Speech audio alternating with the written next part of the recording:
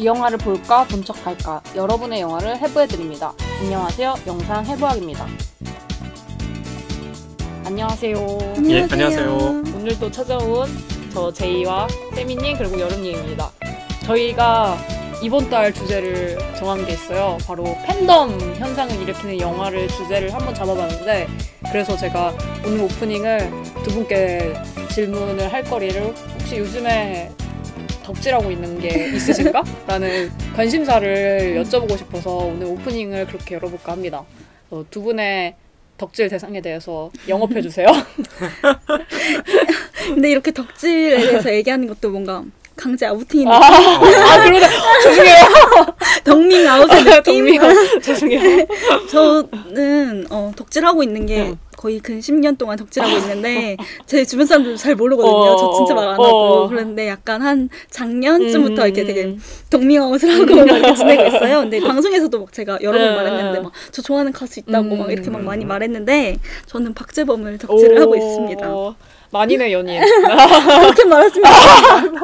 그렇게 말하시면 안 돼요. 작년에 어, 사실 힙합 한다고 욕 되게 많이 먹었었는데 작년, 재작년 막 어. 이때 쇼미더머니로 어. 좀 그래도 인정을 맞아, 맞아, 받아가지고 맞아, 맞아, 그냥 일반. 대중들이 음, 음. 박재범 되게 음, 좋아하는 음, 거예요. 음, 그래서 음. 뭔가 용기가 생겨가지고 오.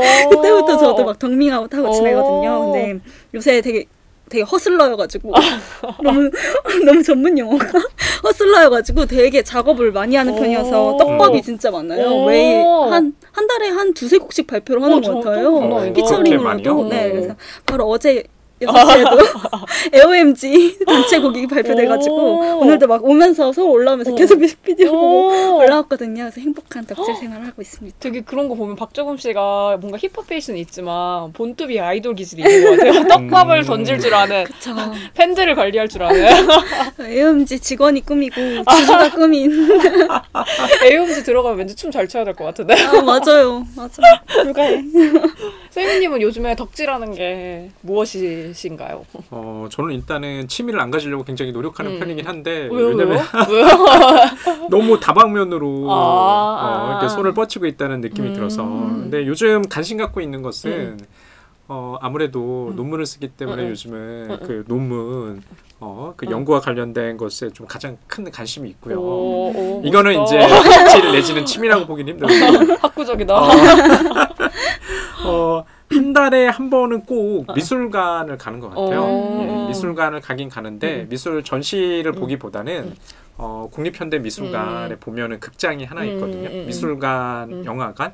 음. 어, 거기 프로그램이 주기적으로 있어요. 음, 음, 음. 그래서 한 달에 한 번 정도는 음, 음. 주말에 일부러 음, 음. 어, 삼청동에 있는 음. 국립현대미술관 서울관에 가서 영화를 한 편씩 음. 봐요. 오. 어, 그런데 그 영화가 흔히 얘기하는 멀티플렉스에서 보는 영화들과는 좀 음, 음, 음. 결이 다르거든요. 음. 가령 예를 들어 가지고 5월에 지금 진행 중인 영화는 이 방송 녹음 중일 텐데 그 시기에는 어, 벌써 68 혁명과 음. 관련된 영화를 좀 개봉하고 음. 있더라고요. 근데 68 혁명이니까 벌써 1968년과 2018년이니까 한 50년이 음, 됐잖아요. 음. 네. 그래서 혁명과 운동에 관한 영화들을 하고 있는데 그 영화를 아마도 이번 주에 좀 연휴가 좀 껴있잖아요. 음. 저희가 음. 방송하는 그 음. 시기에 음. 그 영화를 좀 볼 생각이고 음. 그래서 한 달에 한 번은 미술관에서 어, 전시와 더불어서 영화를 음, 음. 보는 좀 그런 체험을 좀 쌓고 있는 것 같아요. 오, 음. 굉장히 학구적인. 그렇게 극과 극으로 왜냐하면 혼자 즐길 수 있는 걸 해야 돼요. 아. 어, 지금 뭐 연애를 하는 것도 아니고 뭐 친구를 그렇게 또 자주 만나지 않거든요. 박재범 좋아하는 것도 혼자 할 수 있는 일인데 혼자여야 더 잘할 수 있는 저는 요즘에 관심 있는 게 한 달 동안 가지고 있는 관심 중에 하나가 게임이거든요. 오. 근데 딱 오늘 하는 영화가 레디 아. 플레이어 원. 음. 굉장히 적합한 주제인 것 같아서 네. 오늘 되게 기대가 되는 왜냐면 음. 제가 요즘에 관심사가 굉장히 게임이기 때문에 음. 오늘 어떤 얘기를 할지 굉장히 궁금하고 기대가 되는 네. 바입니다. 저희가 오늘 가져온 거는 2018년에 근래에 개봉한 레디 플레이어 원을 가져와 봤는데요. 스티븐 스필버그라는 엄청난 미국의 유명한 감독님이 만든 영화입니다. 그래서 이 영화가 3월 29일 날 개봉을 했는데 음. 거의 저희 나라에서는 200만 정도 관객 수가 음. 들었더라고요. 근데 되게 요즘에 천만 영화 네. 시대라서 많은 숫자가 아닌 것 같은데 그래도 전 세계적으로 보면 이 영화가 되게 흥행하고 있지 않을까? 음. 라는 생각을 저는 하고 있는데 두 분은 이 영화를 보고 어떤 느낌을 받으셨는지가 궁금하네요. 음. 일단은 그 스티븐 스필버그라는 그 이름, 음. 이 고유명에 이끌려서 이 영화를 보신 분들도 많을 거라고 생각하고 아니면 그렇지 않아도 어, 레디 플레이어 원 말 음. 그대로 이제 게임이나 음. 이런 가상현실에 관심이 있어서 이 영화를 선택하신 분도 많을 거라고 음, 음, 생각하거든요. 예, 저는 스티븐 스필버그의 감독의 영화를 굉장히 오랜만에 보는 것 같아요. 음. 물론 그 근래 개봉된 영화가 레디 플레이어 원 말고도 뭐 더 더 포스트가 포스트? 있었잖아요. 네, 연달아 두 편의 영화를 개봉한다는 건 굉장히 힘들 음. 것 같은데 어, 역시 거장이네요. 어, 어, 향기가 느껴지는 영화라고 이제 말할 수가 있을 것 같아요. 음. 근데 제 총평은 사실 미리 어, 필름 필터링을 좀 앞당겨서 얘기를 해보자면 어, 기대만큼은 좀 아니더라. 음. 어, 그런데 저희 기대는 뭐였고 음, 음. 저희 기대를 배반한 건 뭐였을까? 이 얘기는 저희가 음. 어, 완벽한 스포일러 다음에 좀 얘기를 해보면 될 것 같아요. 음, 음. 여름님은 어떠셨어요? 레디 플레이어 원을 보자마자? 음. 저 같은 경우는 스필버그 어. 감독이 명감독이긴 하지만 음. 제가 영화를 선택하게 되는 기준은 어. 안 되는 것 같아요. 음. 왜냐면 음. 좀 시대가 맞아, 달라서 맞아, 맞아, 그런 맞아. 것 같아요. 그냥 제가 기억하는 이티 어. 어렸을 때 봤던 어. 그런 게 각인데 커서 음. 막 중고등학교 때 막 음. 본 스필버그 영화가 막 되게 좋다라고 느끼진 않았던 것 같고 음. 지금 또 요 근래 스필버그가 되게 한국 내에선 부진했다는 느낌을 음. 많이 받았던 것 같아요. 옛날만큼. 맞아 맞아 옛날만큼은 네. 아닌 네, 느낌. 그래서 레디 플레이어 원을 보고 좋아하시는 그런 음. 덕질을 하시는 분들은 보면 다 스필버그가 초기로 돌아온 음. 느낌이다 해서 많이 아, 좋아하시더라고요. 그래요? 그래서 음. 저도 이 작품을 되게 오랜만에 보 스필버그 작품을 보면서 음. 저는 스필버그 감독에 대해서 잘 알진 못하지만 음. 그 옛날에 스필버그가 유명했던 음. 이유를 아 이래서 음. 이래서 명감독이구나 이렇게 깨닫게 된 거여가지고 재밌었고 음, 음, 음. 그리고 저는 나이는 어린 편이지만 8, 90년대 음. 문화를 잘 알진 못하지만 음. 되게 관심이 많거든요. 음. 그래서 이 영화 속에 엄청나게 많이 등장을 음, 하잖아요. 음, 그리고 제가 제일 좋아하는 영화 중에 하나도 어. 이렇게 오마주가 돼가지고 어, 등장을 해가지고 그게 제일 흥미로웠던 것 같아요. 그래서 되게 막 어. 신나게 막 진짜 기쁜 어. 들뜬 마음으로 봤던 느낌이 있어요. 오, 되게 두 분의 평이 어떻게 보면 좀 교차되는 것 같아요. 음. 왜냐면 약간 세대가 우리가 음. 다르니까 오히려 세미님 세대가 좋아할 법한 영화를 어. 지금의 세대이 여러님이 좋아해가지고 뭔가 교차되는 듯한 느낌이 들어서 되게 오늘 어떤 결과가 나올지 아 이미 결과는 나오나? 아무튼 어떤 얘기가 될지가 너무 궁금한 생각이 드네요. 음. 네. 그래서 저희가 영화에 대해서 이야기를 하기 전에 완벽한 스포일러를 한번 당해야죠. 지금부터 스포일러를 남발하오니 주의하여 들으세요. 네, 완벽한 스포일러 시작하겠습니다. 네. 어, 레디 플레이어 원의 배경은 2045년입니다. 이때 전 세계 모든 사람들은 남녀노소, 빈부 격차와 상관없이 제임스 할리데이가 만든 오아시스라는 게임 속의 가상현실에 매료, 매료되어 있습니다. 주인공인 웨이드 와츠는 부모님도 없이 가난한 환경 속에서 이모와 또 꼭 등장하는 이모를 괴롭히는 애인이 음. 있죠. 애인과 함께 생활하면서도 오아시스 속에서 퍼시벌 혹은 지라는 음. 애칭으로 불리면서 지내고 있습니다. 제임스 할리데이는 2040년 죽음을 맞이하면서 유언으로 자신 회사의 지분과 5천억 달러의 상금을 오아시스 속 자신이 숨겨둔 미션을 수행해 이스터 에그를 찾아낸 플레이어에게 주겠다고 말합니다.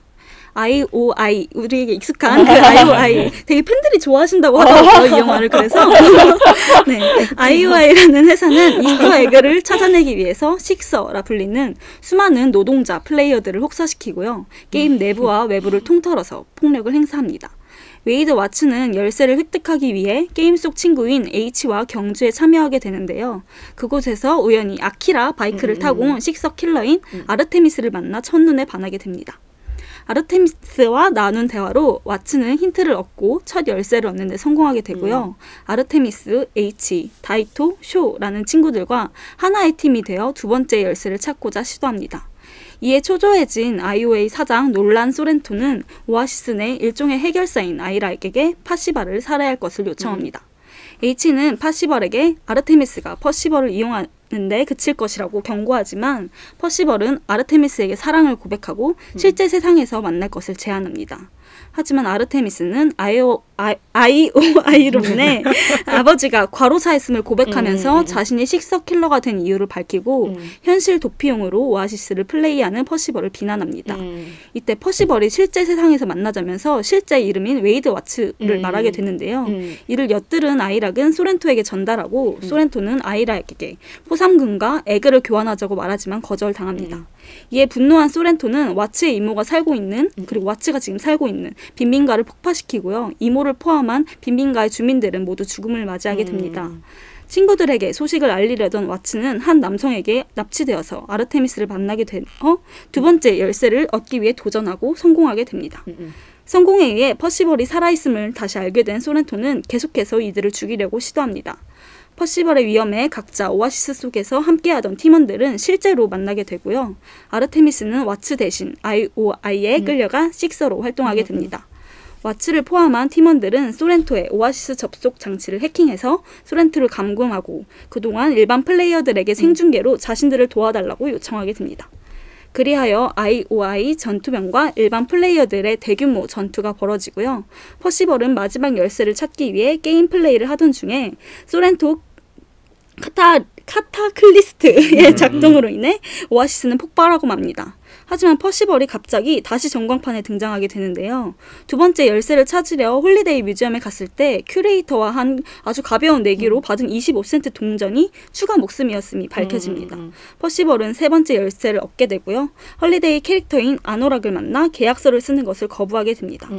음, 음. 이것이 또 마지막 퀘스트였던 건데요. 음. 이를 통과하자 실제 헐리데이가 나타나 이스터 에그를 전달하게 되고 음. 자신의 게임을 해줘서 고맙다는 인사로 사라지게 됩니다. 음, 와츠와 아르테미스인 사만다는 사랑을 확인하고요. 음. 이후 오아시스 경영권을 갖게 된 와츠와 팀원들은 현실 속에서 많은 시간을 보내길 바라는 의미로 매주 이틀간 게임을 폐쇄하고 로열티 센터의 오아시스 접속을 폐쇄하면서 음. 영화는 끝이 납니다. 음. 음, 예. 적당히 게임을 하라는 조언을 남겨주는 맞네요. 되게 이 영화를 얘기를 완벽한 스포일러 얘기를 듣다 보면 되게 인상 깊는 뭐라고 스토리라고 해야 되는 네. 거를 꼽자면 캐스트인 것 음. 같아요. 그 세 가지 음. 캐스트. 네. 예. 마치 이게 근데 되게 동화책에 나오면 항상 세 가지 소원? 음. 세 가지 약간 이런 식으로 나오는 것처럼 여기서도 세 가지가 나오잖아요. 네.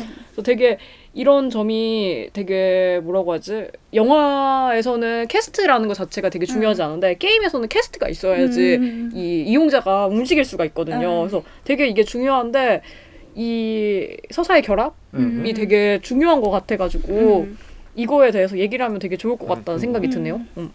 그러니까 보통 그 질문이라는 건 음. 뭐 다른 말로 표현하자면 미션인 것 음, 같아요. 음, 음. 아까 우리 음. 어 제이님께서 요즘에 푹 빠져 있는 뭐 게임을 말씀하셨는데 음. 저는 뭐 그렇게 뭐 게임을 많이 안 하는 편이거든요. 음, 음, 뭐 거의 안 하죠. 음. 왜제 주변에 게임 덕후들은 많아요. 음. 제가 항상 그 주장하다시피 음. 제 세대 중에 혼자 사는 남성들은 음. 게임 덕후들이 많거든요. 음. 어, 자신의 시간을 갖다가 그 게임과 더불어서 음, 음, 어, 어, 삶을 갖다가 즐기시고 있는 분들인데 음. 게임에서는 이 미션을 해결하는 그 과정 자체가 굉장히 중요한 것 같아요. 음, 아까도 이 영화의 교훈 내지는 메시지 음. 게임을 적당히 해라 이것과 더불어서 숨겨져 있는 것은 정말 이제 게임을 좋아하는 사람은 음. 게임의 결과를 본다기보다는 그 과정 자체를 즐기는 사람인 것 맞아 맞아 같아요. 맞아. 그 다 모든 것이 예. 끝나도 그 마을을 계속 돌아다녀. 그리고 이 끝나는 게 너무 아쉬워서 괜히 막 딴 거야 막 괜히 막 나무 올라가서 사과 따고 땅수 타고. 아마 그런 교훈을 이 영화는 좀 던져주고 있지 않나? 음. 어, 우리가 보통은 현실 세계에서 게임이라는 건 굉장히 냉혹하잖아요. 음. 냉혹하다는 게 뭐 승부가 음. 분명한 경우도 많고 패자들도 굉장히 많고 음. 하지만 이 게임 안에서는 적어도 대리만족 내지는 음. 충족의 기회가 많이 주어지고 음. 어, 그런 인- 어, 장점이 있는 것 같다는 생각이 들었어요. 음. 여름님은 어떠신 것 같아요? 이 퀘스트? 근데 저는 여기서 퀘스트가 우선 세 개가 음. 명확하게 등장을 음. 하잖아요. 처음부터 세 개의 열쇠를 음. 찾아야 된다라고 음. 등장을 하는데 그건 가상현실 그 오아시스란 게임 속에서고 음. 그 게임 외부에서도 뭔가 퀘스트처럼 뭔가 문제가 계속 생기고 사건이 음. 생기거든요. 근데 그 사건들이 오히려 그 가상 현실에 부과된 문제이지 그게 음, 주가 아니라 음, 게임의 음. 서사가 더 주인 것 같아요. 음. 그래서 이 영화가 끝이 날 때도 그 세 번째 마지막 열쇠를 찾고 그 음. 문을 열고 이스터에그를 음. 받고 나서야 현실에서 문제가 음. 해결되거든요. 소렌토가 음. 입건된다던가 음. 약간 이런 식으로 그래서 게임의 서사가 우선 주 스토리라는 음. 점에서 되게 특이하다라는 생각을 했어요. 음. 또 특히 계속 게임에서 이렇게 활동하는 장면들이 그냥 영화에 나오잖아요. 음, 근데 음. 그 가상 현실의 장면들과 그냥 그 VR을 끼고 막 그 뭐냐 러닝머신에서 막 어. 뛰면서 그게 교차되면서 계속 아, 보여주거든요. 근데 오히려 주는 계속해서 가상 현실이니까. 그래서 이런 게임 서사 그리고 게임 속 이야기, 게임 자체 가 완전 주요한 영화가 어. 대중적으로 성공한 건 되게 신선한 맞아, 맞아, 저한테 맞아, 충격이었다라는 맞아, 맞아, 맞아. 느낌 많이 들었던 것 같아요. 맞아 음. 맞아 맞아 맞아. 되게 이런 게임이나 가상현실에 대한 얘기를 많이 하는 영화는 많았던 것 같은데 음. 좀. 좀 이거를 잘 영화에 녹아들게 만드는 거에 되게 의미가 있지 않나?라는 음. 생각이 많이 드는 것 같아요. 음. 음. 그래서 이 영화 속을 보시면 등장하는 가상현실, 음. 어, 흔히 뭐 VR이라고 하잖아요. 음. 요즘에 워낙 뭐 VR이라는 용어를 뭐 미디어에서 많이 음. 어, 들으셨기 때문에 어, 익숙한 용어이긴 한데요. 음. 어, 이 영화는 정말 이게 스필버그라는 감독이 현실과 가상현실을 넘나드는 게 전혀 어색하지 않더라고요. 음. 영화를 잘 만든다는 게 뭘까라고 그러면 이 문턱을 얼마나 어, 소리 없이 진동 없이 이렇게 넘어가는 그런 것들이 필요한 것 같거든요. 음. 아까도 말씀하셨던 것처럼 현실에서의 장면과 그 가상 현실의 장면이 계속 교차 편집되고 있잖아요. 이 영화들은. 음. 하지만 어, 제가 그 극장에서 이 영화를 쭉 보면서 그런 거 전혀 의식하지 못하고 음. 어, 빨려 들어간다는 느낌? 음. 뭐 이런 것들이 좀 있더라고요. 음, 음, 음. 어떻게 보면 영화라는 것도 되게 가상현실의 일부니까 또 여기 영화 속에 그런 영화라던가 아니면 다른 비디오 게임, 음. 애니메이션 같은 각종 음. 레퍼런스가 있잖아요. 또 그걸 예. 이용했다는 것 자체가 조금 또 재밌는 것 같아요. 음. 어, 어, 어. 그런 의미에서 그래서 이 영화를 얘기하면서 오마주에 음. 대해서 얘기를 안 할 수가 없는데 그런 지점은 어떻게 보셨는지. 음. 저 같은 경우에는 제가 이 영화를 8, 90년대 문화를 모르지만 음, 음. 이거 즐거웠던 이유가 음. 그냥 그 여러 오마주한 대중문화라고 여기서 컬, 어, 음, 음. 일컫는 그런 것들이 되게 대한 저한테 다 낯선 재밌는 음. 그냥 스펙터클로 이렇게 음. 소비됐던 것 같아요. 그래서 사실은 이 영화를 보면서 스토리가 재밌다라고 하나도 안 어, 느꼈거든요. 어, 되게 어. 비약이 많고 어, 어. 억지스러운 것도 어. 많고 막 갑자기 사랑에 빠지고 맞아, 갑자기 맞아, 사랑을 맞아, 확인하고 이런. 것도 많고 해가지고 스토리 서사는 왜 저래? 약간 이런 게 많았는데 음. 갑자기 건담이 등장하면 그 마음이 풀리고 맞아 맞아. 네. 노래가 흘러나오면 신이 나고 어. 약간 이런 식으로 그 오마주를 약간 빈약한 스토리에 많이 활용을 음. 하면서 영화적으로 만든 것 같아요. 음, 음. 근데 저는 몰랐는데 이 레디 플레이어 원이 원래 원작 소설이었다고 맞아, 맞아, 맞아, 전혀 몰랐거든요. 이번에 어. 저는 방송 준비하면서 어. 알게 됐는데 그 소설도 되게 욕을 많이 먹었던 어. 소설이었다고 어. 하더라고요. 베스트셀러임에도 불구하고 서사가 너무 없고 뭔가 음, 음. 그 작가가 좋아하는 대중문화나 음. 게임에 음. 엄청 약간 음. 자기 얘기를 막 엄청 음. 써놓는 그런 느낌이어가지고 근데 이게 진짜 영상화되면서 스펙터클로서 되게 그냥 소비할 수 있는 그냥 킬링 콘텐츠 로 음. 서- 소비할 수 있는 걸 잘 활용했지 않았나라는 음, 생각이 음, 들더라고요. 음, 그래서 음. 오히려 그게 영화적 힘인가? 라는 음. 생각이 많이 들었던 것 같아요.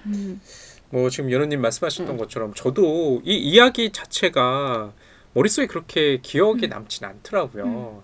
어 지금 어 뭐 연님 말 도중에 이런 말 있잖아요. 이쪽에 오마주 같다. 음. 저도 보통 영화를 보면은 이렇게 메모장에 기록을 남기거나 어, 평점을 음. 뭐 네이버나 뭐 다음이나 그밖에 영화 사이트들에 좀 남기거든요. 음, 음, 그래서 뭐 100자 내지는 뭐 200자 정도로 이렇게 남기게 되면 음. 그냥 저는 그렇게 적었던 것 같아요. 그러니까 스필버그 감독이 대중문화에 대한 오마주. 음. 특히 음. 80년대, 90년대를 통틀어서 여기에서 전면에 등장하는 건 뭐 게임, 뭐 영화, 그다음에 팝송 이런 것들이잖아요. 음. 음, 음. 아마 이 시절을 겪, 그, 지나오지 않으신 분들이라도 어, 굉장히 친숙 해요. 음, 가령 저 같은 경우 좀 인상 깊었던 것들은 어, 특히 일본의 대중문화 음. 아이콘들이 많이 음. 등장하잖아요. 음. 여기 특히 아키라에서 등장하는 그 오토바이. 음. 아마 아키라를 보신 분들이라고 하면 아 딱 그 순간 음, 음. 어그 오토바이의 그 이미지에 현혹되셨을 것 같고 음. 아니면 뭐 건담 음. 아니면은 헬로키티 뭐 이런 것들 있잖아요. 정말 친숙한 그 대중문화 속에서의 그 캐릭터였거든요. 음. 그러니까 자기가 좋아했던 내지는 지난 시절의 그런 어, 아이콘들을 발견해내는 이 기쁨이 이 영화에서 더 큰 것 같아요. 음. 그러다 보니까 형식적으로 등장하는 아까 뭐 플롯이라든지 촬영과 편집은 이 영화를 보고 나서 극장을 나올 때는 머릿속에 잘안 남더라고요. 음. 그 저도 아까 여름님이 말씀하신 것처럼 이 소설이 동명 소설을 바탕으로 음. 만든 영화라고 했었는데 되게 약간 조금 의아했던 음. 게 근데 실제로도 이 영화를 만든 그 소설이 되게 욕을 많이 먹었대요. 그러니까 음. 워낙 팬들이 많은 음. 영화나 뭐 게임, 애니메이션 같은 거를 가져오니까 그에 대한 지식이 없으면 음. 욕 먹을 수밖에 없잖아요. 음. 그렇죠. 어.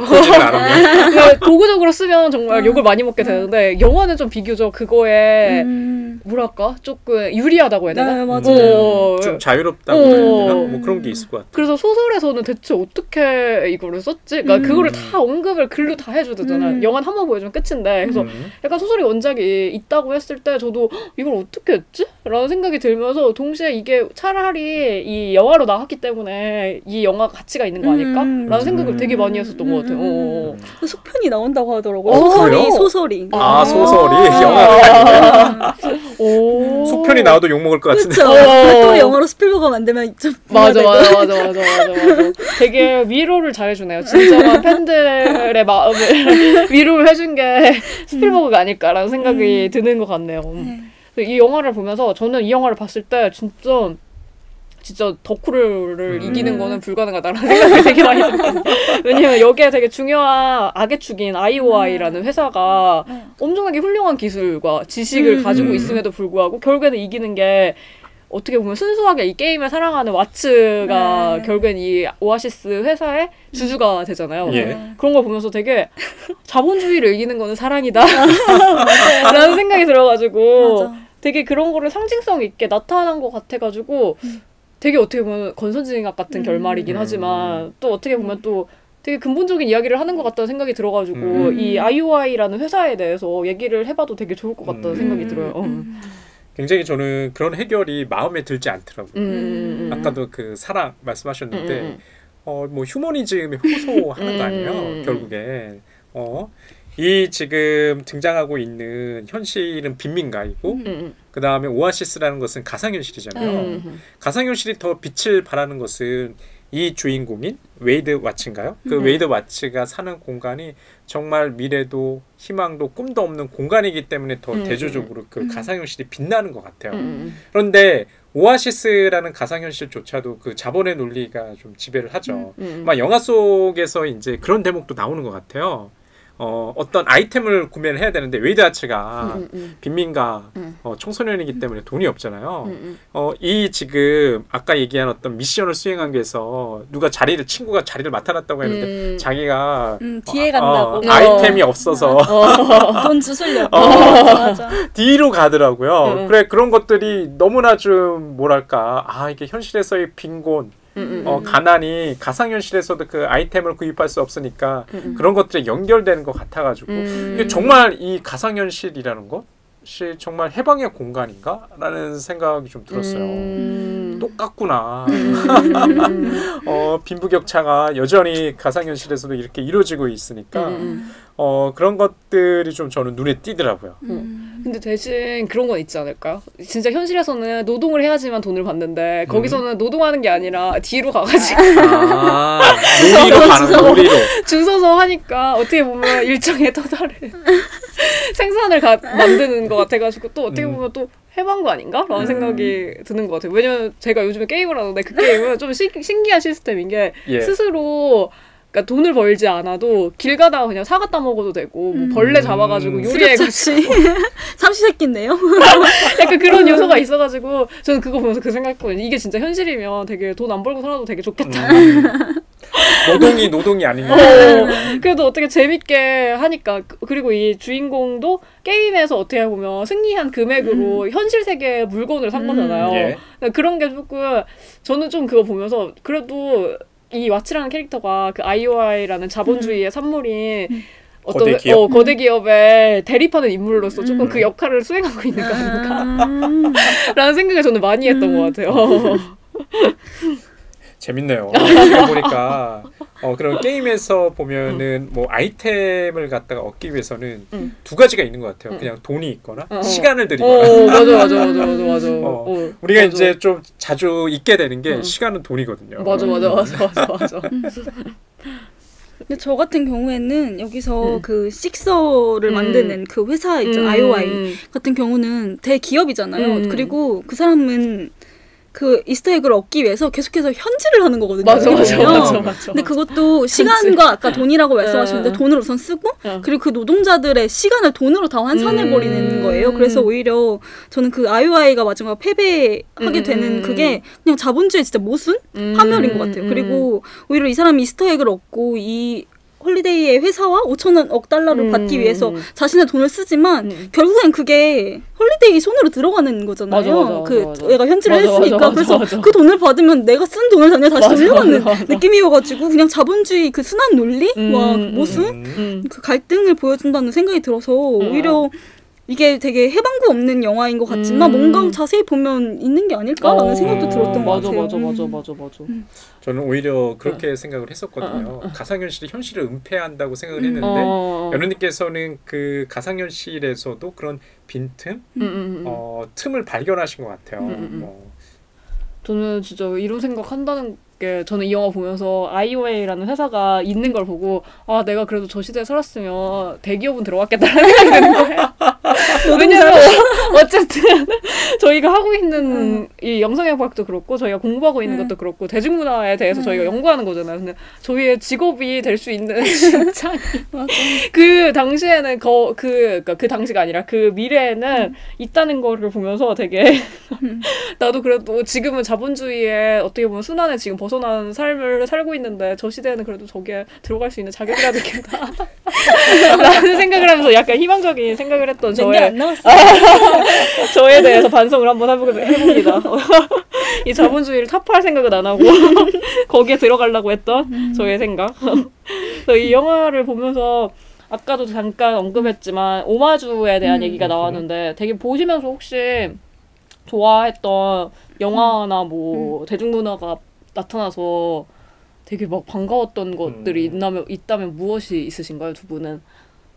저 같은 경우는 이 영화를 본 가장 큰 이유 중에 하나도 음. 이 영화에서 등장하는 가장 큰 영화인 음. Shining 음. 때문이에요. 음. 네. 음. 제가 원래 큐브릭 감독 엄청 음. 좋아하긴 했거든요. 그 큐브릭 감독 특유의 유머가 어. 전 있다고 생각을 해가지고 그거에 저랑 약간 코드가 잘 맞나 봐요. 어. 그래서 되게 좋아했는데 그 Shining이 공포 영화잖아요. 어. 근데 여기서도 직접적으로 막그 음. 공포 영화인 게 강조가 되고 음. 그뭐 데이트 코스에서 그걸 보는 그런 것도 나오고 해가지고 그게 너무 재밌었는데 음. 사실 그게 Shining이라는 그 영화 자체가 시각적인 게 너무 강력한 음. 영화여가지고 이 영화 진짜 되게 적합한 선택이었다라는 생각이 되게 많이 들었고 음. 그리고 아까도 말했듯이 그, 그 사랑하는 여자라는 음. 소재와 그리고 공포 영화라는 그 소재를 잘 이렇게 음. 버무릴 수 있어서 오히려 극적인 효과를 많이 낼 수 있어서 되게 좋았던 것 같아요. 음, 근데 음, 음. 원래도 스필버그가 큐브릭을 좋아해서 넣었다라는 음. 말도 있긴 한데 음. 그이 영화뿐만 아니라, 처음이나 중간 중간에 어. 계속 나오는 Back to the Back, 어. Back to the Future 음.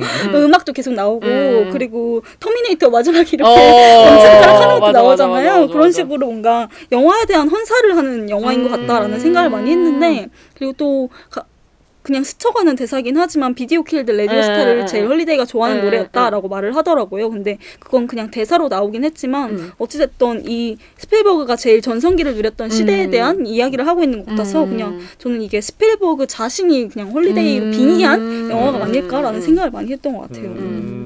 음, 재밌네요. 음. 근데 저는 사실 이 영화를 보기 전에 뭐 이런 광고나 음. 홍보 영상 돌아다니잖아요. 음, 음, 가장 그 눈에 띄었던 캐릭터는 건담이었어요. 음. 저는 정말 일본 애니메이션을 어릴 때부터 보고 자란 세대였기 음. 때문에 음, 예전에 어, TV에서 보던 그 만화 음. 애니메이션의 주인공들이 알고 보니까 한국의 음. 캐릭터가 아닌 음. 일본의 캐릭터였던 음. 거죠. 음. 게다가 거대 로봇 음. machine에 대한 어떤 이런 향수 내지는 로망이 음. 있었거든요.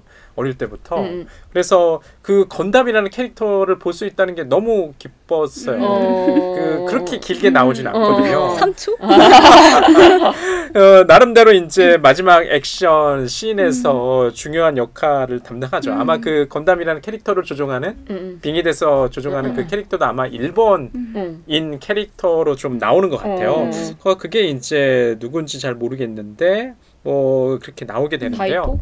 어 맞나요? 어, 어. 어 그런 어떤 무사의 음. 어떤 그런 어 일본의 무사인 닌자 이런 음. 캐릭터로 음. 나오잖아요. 어 그래서 그런 것들이 가장 이제 눈에 띄었고 음. 지금 여름님께서 말씀하신 그 Shining 음. 아마 큐브릭 감독의 이 영화를 보신 분들이라고 하면 이 영화 속에서 등장하는 그 Shining의 명장면들 있잖아요. 음. 그 홀이라든지. 아니면 댄스.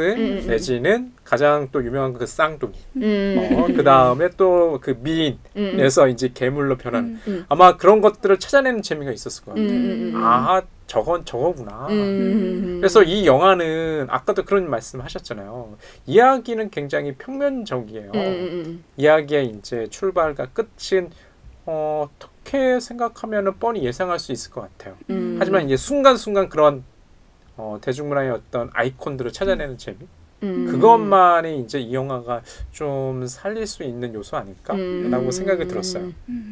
근데 되게 이 영화 자체가 저는 이스터 에그를 찾는 게 되게 중요하잖아요. 이 음. 게임에서도. 근데 이 영화 자체가 이스터 에그가 음. 가득해가지고. 음. 그래서 그런 지점이 약간 팬덤이라고 할수 아. 있는 지점을 만든 거 아닐까라는 생각이 들어가지고 되게 어떻게 보면 똑똑한 음. 연출이지 않을까라는 음. 생각이 들기도 하면서 그리고 아까 여름님이 마치 스티븐 스필버그의 그러니까 자신 그 자신의 전성기에 대한 이야기 같다고 하셨는데 그 어떻게 보면 그런 얘기하면 어른들이 막 그런 얘기하면 되게 꼰대 같잖아요. 어, 뭐야? 그래서 마치 이명박이 막나 저도 한번 뭐 해봤는데 약간 이랬을 때 뭐야? 약간 이런 거 약간 그렇게 느껴질 수도 있을 법한데 약간 이 Ready Player는 그런 거부감이 없다는 거. 음. 어떻게 보면 전 세대를 어우, 아우를 수 있는 음. 제가 봤을 땐 지금 어린 아이들이 이 영화를 봐도 되게 충분히 좋아할 것 같거든요. 그래서 그런 힘을 가지고 있는 이유가 뭘까요? 단지 음. 스티븐 스필버그라서일까요?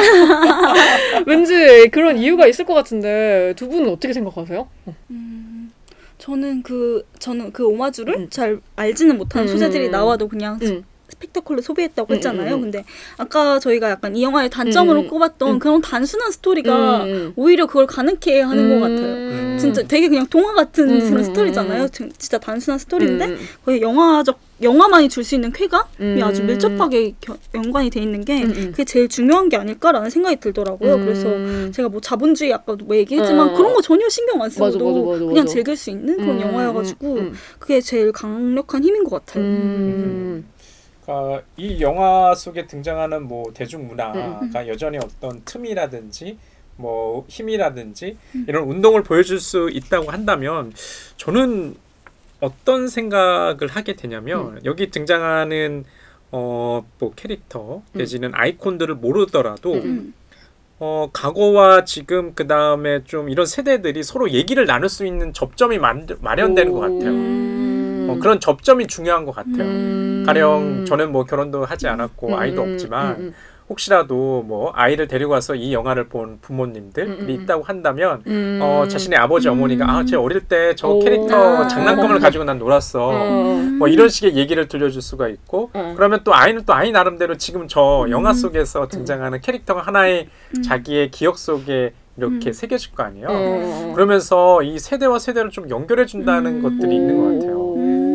음. 어, 그래서 이제 좀 박제됐다고 그런 표현 음, 쓰잖아요. 음, 음. 그냥 예전에 저런 게 있었지, 음. 좋았던 시절 이렇게 끝나는 게 아니라 이게 지금도 이어지고 미래에도 좀 이어질 수 있는 그런 이런 흐름을 좀 만들어주지 않나? 음. 아, 라는 좀 생각을 했어요. 음. 그런 점에서 이 배경이 2045년인데 또 불구하고 이 영화 속에 나오는 캐릭터들이라고 해야 되나? 음. 그러면 그때 그 당시에 캐릭터들이 나와야 되는데 8, 90년대에 음. 캐릭터들이 나오니까 되게 그런 게 좀 특이하다라는 생각이 어. 드는 것 같아요. 음, 음. 음. 두 분은 그거에 대해서 왜 이렇게 했을까요? 스티븐 스필버가 그런 거 혹시 고민해 보셨나요?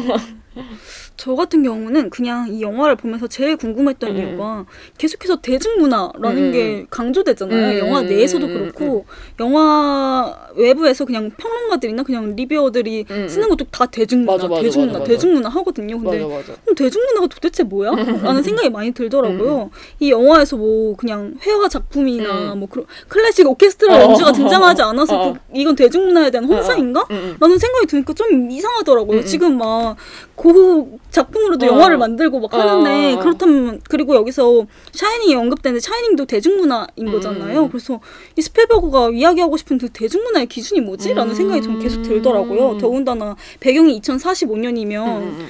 8, 90년대의 대중문화라는 뭔가 특수성을 뭔가 만들어 놓고 어. 전제로 하고 이야기를 하고 있는데 어. 이 45년도에 이야기하고 있는 대중문화도 별반 다를 바가 없다라는 음, 생각이 음, 들더라고. 근데 음. 오히려 이 사람들은 그냥 오아시스만 즐기지 다른 영화나 음. 음. 악을 즐긴다는 건 전혀 나오지 음. 않잖아요. 45년에 유행하는 음. 영화 뭐 그런 건 등장하지 않아가지고 그 대중문화에 대한 그 획일성 그게 뭔지 기준이 전혀 전 이해가 약간 안 됐던 것 같아요. 근데 음. 이 같은 경우에도 계속해서 홀리데이의 퀴즈를 풀어야 되기 음, 때문에 음. 계속 홀리데이의 취향에 음, 음, 음. 계속 대중문화들을 이야기하고 있고 그게 음. 다 등장을 하는데 결국엔 스필버그의 취향이긴 음. 하겠지만 오히려 이 사람들은 우리가 대중문화라고 부를 수 있었던 오아시스 속에 살고 있는 사람들이어서 음, 음. 오히려 대중문화가 일종의 취미나 취향의 영역이 아니라 음. 일상의 영역으로 확대된 걸 그리고 싶었나?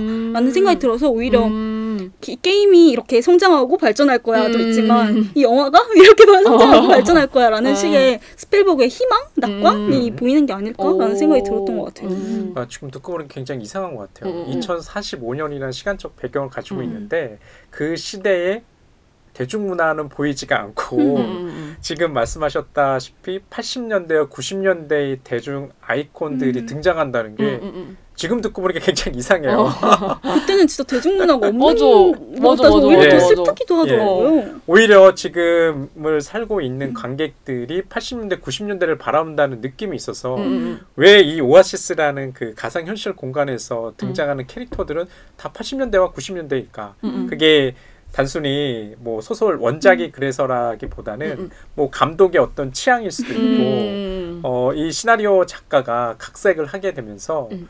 어, 가장 그 80년대 90년대를 어떤 어, 변화의 열망이 이렇게 음. 분출된 시절로 본 거 아닐까? 특히 음, 80년대 음. 이런 생각들이 좀 들더라고요.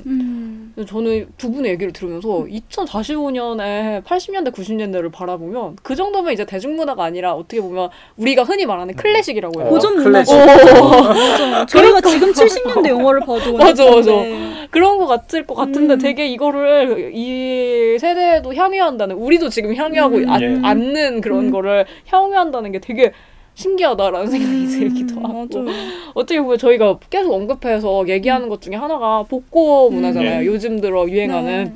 약간 그거의 연장선상인가? 라는 생각이 음. 들면서 조금 되게 흥미로운 지점인 것 같아요. 어. 음. 어, 시간성이 좀 차이가 음. 난다는데 네, 예. 맞아요. 어떻게 보면 근데 오아시스라는 게임 자체가 이 대중문화이기 때문에 음. 어쩔 수 없는 건가 싶기도 하고 음. 음. 그러니까 이 시대에 그래서 네. 좀 되게 그런 게 좀 신기한 것 같아요. 왜 1900, 아, 1980년대, 음. 90년대를 다루는 2045년을 설정을 했을까라는 음. 의문점이 생기면서 좀 신기하다라는 생각이 음, 많이 드는 것 같아요. 맞아요.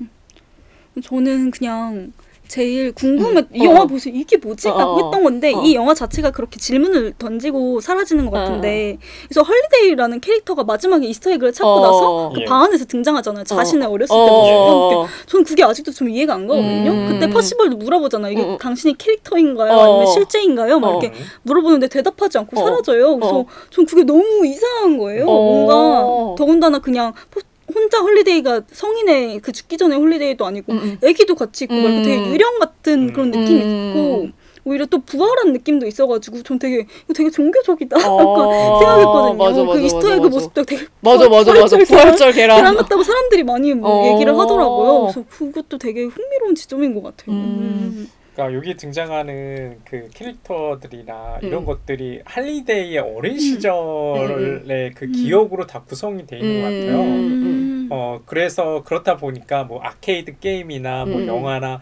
게임이나 본인이 계속 성장해 나가면서 10대, 20대, 30대, 40대 죽을 때까지 어, 향유하던 것을 다 몰아넣어서 보여주는 거 아닌가. 음, 음. 음. 그러니까 오아시스가 하나의 완벽한 가상현실이 되다 보니까 더 이상 새로운 게 개입될 여지가 없는 음. 것 같다는 생각이 들어요. 음. 어, 일종의 이것도 하나의 좀 폐쇄된 또 음, 음, 세계처럼 보여가지고 음. 어, 좀 아쉽다는 생각도 좀 들어요. 음. 그러게. 근데 저는 그 어린 시절의 장면을 보면서 그 생각은 많이 했었어요. 그러니까 저희가 요즘에 뭐 음. 게임을 하고 뭐 덕질을 하고 이런 음. 거에 대해서 사람들이 뭐라고 안 하잖아요. 음. 그게 예. 너무나 취미의 영역이고 음. 저 사람이 하고 싶어서 하는 거고 행복하면 된 거지라고 하는데 왠지 80년대 90년대 어른들이 이 건담을 좋아하고 이러면 엄청 뭐라고 하잖아요. 너왜 그런 거 좋아하니? 덕질을 해도 너 왜 연애 안 하고 연예인 좋아하니? 어떻게 보면 취향 존중이 되지 않던 시절 이었던 것 같아가지고 약간 그거를 뭔가 제 생각에는 스필버그가 용기를 복돋아 주는 것 같았어요. 그 아. 장면이. 그래도 된다고. 너가 아. 어린 시절에 좋아했던 거 지금 커가지고 그때 갖지 못한 거 지금 사도 되고 음. 지금 향유해도 된다고라고 뭔가 용기를 주는 듯한 느낌? 또 키덜트 양성 어. 영화네요. 그래서 왠지 그래서 덕후 분들이 되게 이 영화에 열광하고 음. 뭔가 용기를 얻어가는 음. 힘이지 않을까라는 생각을 저는 했었던 것 같아요. 음. 취향은 소중하고 음. 취존. 근데 진짜 그런 취향조차 없는 사람들도 있는데 음. 그렇게 좋아한다는 거를 말할 수 있다는 것 자체가 음. 되게 의미 있는 일이 아닐까라는 생각을 많이 하게 하는 영화가 아닌가라는 생각을 했던 것 같아요. 저는. 음, 음. 음. 그래서 저희가 이제 드디어 이 영화를 볼지 본척할지 결정을 내려주는 필름 필터링 시간이 왔는데요. 네. 두 분은 이 영화를 어떻게 청취자 여러분들에게 권유할 것인지 말 것인지 궁금합니다. 음, 저부터 한번 얘기해 볼까요? 네. 저는 사실 이 영화가 아쉽다고 얘기했잖아요. 음. 그러니까 스티븐 스필버그라는 어, 감독의 이야기꾼으로서의 기술은 많이 보이는데 어, 대중문화 내지는 문화가 가지는 어떤 혁명이라든지 음, 음, 어, 운동의 힘을 잘 보여주지 못하는 것 같다는 생각이 들어서 음, 음, 좀 아쉬웠거든요. 사실 음, 음, 더잘 풀어낼 수 있지 않았을까라는 생각도 들고 이 해결 자체가 보면은 굉장히 자본주의적인 해결이라고 제가 음, 이름 음, 붙였잖아요. 음, 주인공이 음, 음, 드디어 어 그 유상과 음. 상금을 따서 대주주가 되잖아요. 음, 어, 음, 기업에 대한 경영권을 가지고 나서야 음, 이 오아시스에 대한 운영권을 가지고 며칠을 갖다가 강제로 쉬게 하고 어, 진정한 것은 현실이다라는 메시지를 던지면서 끝나거든요. 그래서 굉장히 좀 아쉽다는 생각했는데 음. 이렇게 이야기하다 보니까 중요한 것은 이렇게 부분 부분 이렇게 돌출돼 있는 캐릭터만으로도 이 영화가 음. 볼만한 영화인 것 같다는 음. 생각이 들었어요. 음. 왜냐하면 그 시절을 지내오신 분들이라고 한다면 어, 자신이 소중히 여기는 그 대중문화의 아이콘들이 분명히 있거든요. 음, 음. 어, 그게 반드시 뭐 고급 문화 내지는 남한테 이렇게 공개적으로 드러내기 못하는 어떤 음. 덕질이나 취미라 할지라도 그런 것 정도를 찾아낼 수 있다면 이 음. 영화 볼만한 영화 아닐까. 음. 아, 좀, 좀 생각이 바뀌었네요. 역시 이야기를 하다 보면 이 영화를 사랑하게 되는 것 같아요. 여름님은 이 영화를 추천하실 건가요? 저는 추천하고 싶은데요. 음, 음. 어, 저는 이 영화에서 좀 흥미로웠던 게 음. 그 생중계를 할 때 드론 카메라 이렇게 어. 던지는 거 어, 기억나세요? 이렇게 동그란 공 어. 모양의 드론 카메라 전 그게 그냥 생중계를 위해 등장하는 도구다라고 생각을 음, 음, 했는데 이 영화를 다시 생각하면서 그게 되게 중요하다라는 생각을 음. 많이 했어요. 사실 그게 생중계가 되지 않았다면 음, 음. 아무리 세 번째 열쇠를 얻고 맞아. 이스터에그를 했어도 맞아 맞아 받지 못했을 것 같아요. 맞아 맞아 맞아 맞아 맞아 그냥 죽여버리거나 어. 약간 이런 식으로 뭔가 맞아 맞아 이렇게 공론화가 돼야 어. 이게 다, 당연히 체포도 되고 약간 음. 그런 게 있잖아요. 그래서 저는 그 드론 카메라가 음. 되게 중요하다라는 생각을 했거든요. 근데 그때 찾아보니까 드론 카메라도 하나의 오마주라고 하더라고요. 어. 그게 미국의 마텔사라는 기업에서 만든 어. 매직 에이볼이라는 장난감이 있대요. 아. 그렇게 동그랗게 생기고 팔이라고 써 있는. 근데 아. 그게 그거는 이렇게 이렇게 동그란 화면 같은 게 렌즈 어. 같은 게 있어서 그냥 공을 막 맞아, 흔들어서 맞아, 이렇게 맞아, 하면 무슨 해결책 같은 맞아 게 맞아 맞아. 맞아 그래서 맞아 맞아 우리나라로 치면 그 색종이 접어서 맞아, 맞아, 동서남북 맞아, 맞아. 그거랑 맞아, 맞아, 비슷하다고 맞아, 하더라고요. 근데 생각해 보니까 저희가 왜 8, 90년대만 나오지라고 또 얘기를 했고 음, 음. 이 해결이 그냥 자본주의적 해결이어서 뭐 출구도 없는 것 같다라고 음. 했는데 그 매직 에이볼 장난감이나 음, 음. 동서남북이나 사실 해결책이 음, 여덟 개밖에 없고 거기에 음. 정해져 네. 있는데 그 중에 하나를 우리가 선택해서 그걸 뭔가 희망을 맞아. 얻고 믿고 음, 하잖아요. 음, 음. 그래서 이 영화의 주제랑도 연결이 되어 있는 게 음. 아닐까라는 갑자기 그런 생각이 들더라고요. 음. 그래서 좀 사실 친구들한테 막 힘들다 뭐 이런 얘기 할 음. 때도 답이 정해져 있는 게 맞아, 아닌데 맞아, 그냥 맞아. 뻔한 답 들어도 힘이 어, 되는 거잖아요. 맞아, 맞아, 그래서 맞아. 이게 가상현실과 현실로 했을 때 이건 가상현실을 중점으로 하지만 음. 우리도 현실에서 그렇게 정해져 있는 답에도 행복을 음. 느낄 수 있다. 맞아. 라는 생각이 들어가지고 저는 이 영화 많이 보셨으면 좋겠다라고 어. 추천드리고 싶어요. 맞아. 예. 어떻게 보면 결론이 덕질은 은혜롭다. 맞아. 라는 게 되는 것 같은데 네. 어떻게 보면 두 분도 이 영화를 추천하게 됐으니까 많은 분들이 저희와 마찬가지로 레디 플레이어 원을 보면서 좀 위로와 이 맞아요. 자본주의 시대에 이 핍박받는 세, 세상에서 어떤 어, 해방구를 찾으셨으면 해방구가 아니더라도 그냥 뭐 답은 정해져 있어도 그 과정에서 뭔가 행복을 느낄 수 있는 음, 영화를 청취자 여러분도 느꼈으면 좋겠네요. 네. 저희 이렇게 영상 해부학을 해보았는데요. 많은 청취자 여러분들의 댓글과 좋아요 그리고 신청 영화 저희 항상 받고 있으니까 영화도 괜찮고 정말 다 모든 영상은 다 받고 있으니까 어떤 것이든 다 좋으니 신청 많이 해주시길 바라면서 저희 이만 마치도록 하겠습니다.